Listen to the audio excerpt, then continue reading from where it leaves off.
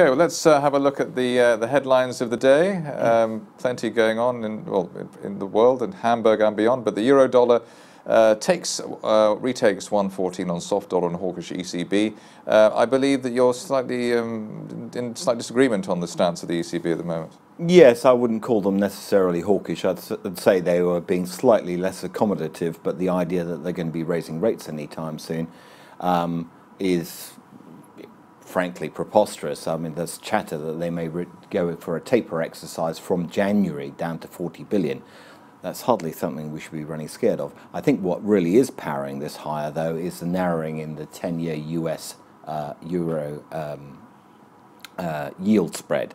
And you know we've seen Germany, particularly the 10-year Bund yield yesterday, was just jumping higher and higher, breaking key levels.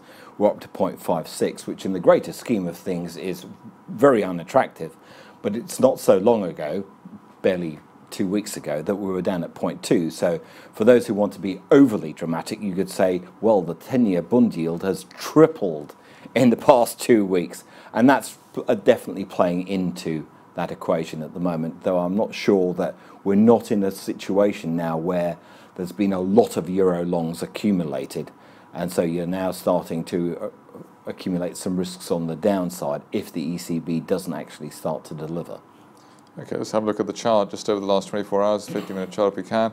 See that surge even before the ECB uh, revelations uh, around lunchtime. So just uh, went up and stayed up and is just uh, treading water now. No, no sign of any weakness. Yes, I mean to me that's a, a, chart which suggests that we're we're gradually losing momentum on this up move. It's starting to look a little bit tired.